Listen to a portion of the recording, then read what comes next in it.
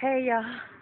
Alright, just got through doing five miles with my wonderful trainer, Rory. Rory, what's up? Good morning, people. How you doing today?